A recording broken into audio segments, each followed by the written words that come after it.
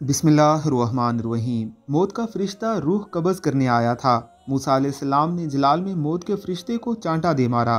सीदना अबू हुरैरा रज़ी अल्लाह तु कहते हैं कि रसूलुल्लाह सल्लल्लाहु अलैहि वसल्लम ने फरमाया, मुल्कुल मौत, यानी मौत वाला फरिश्ता, लोगों के पास आता था और वो उसको देखते थे। वो मूसा वसलाम के पास आया और कहा, अपने रब की बात कबूल करो और रूह कब्ज़ करने दो। मूसा सलाम ने उसे मारा और उसकी आँख फोड़ दी। फरिश्ता अल्लाह ताला की तरफ़ लौट गया और कहा ए मेरे रब, तूने मुझे ऐसे बंदे की तरफ़ भेजा जो मरना नहीं चाहता। उसने तो तमाचा मारकर मेरी आँख फोड़ दी। अगर तूने उसे मुआज़ ना बनाया होता तो मैं भी उस पर सख्ती करता।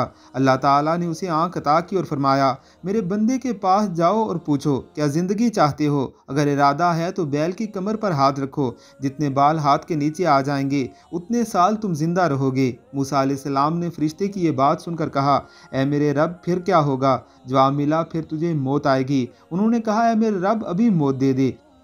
इस हाल पर कि मैं पाक सरजमीन से एक पत्थर की फेंक पर हूँ। फिर उन्होंने एक बू सुंगाई और उसकी रूह कब्ज़ कर ली। इसके बाद फरिश्ते लोगों के पास मख्फी अंदाज में आने लग। गए रसोल्ला सल्लल्लाहु अलैहि वसल्लम ने फरमाया, अल्लाह की कसम, अगर मैं वहाँ होता तो तुम्हें सुर्ख टीले के पास उनकी कब्र दिखाता।